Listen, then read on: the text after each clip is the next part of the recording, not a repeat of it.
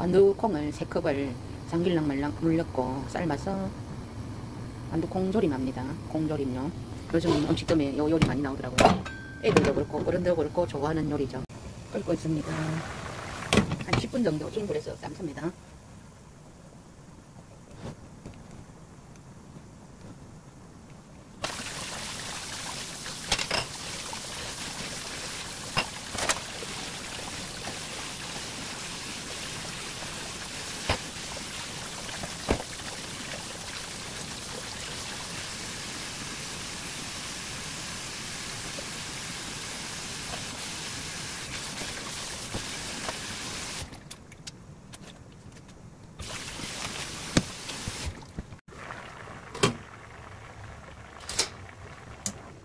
익었는지 한번 먹어볼게요.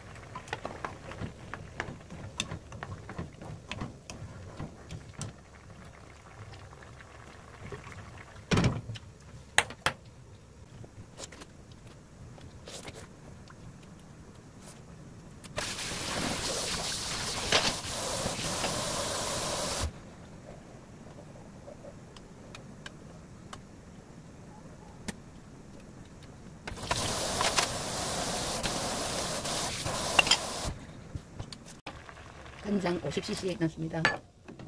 졸여주면 됩니다.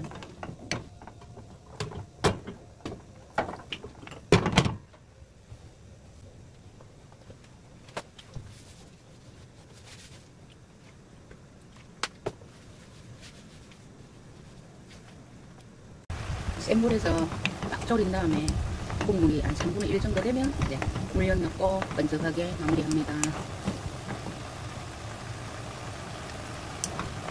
익힐 때는 뚜껑을 닫고 익혀야 된다는 거예요. 모든 음, 요리는.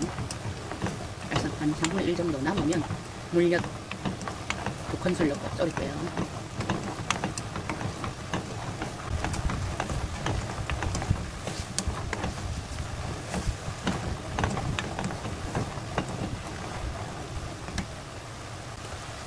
물엿 두 큰술 넣고요.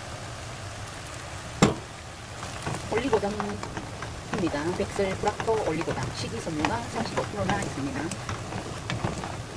올리고당이 당뇨 있는 사람한테 좋다고 하죠. 간을 봐주세요. 딱 됐습니다.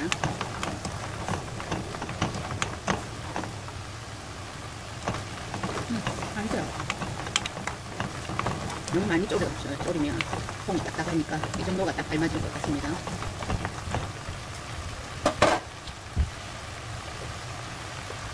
콩깨 넣고 마무리합니다.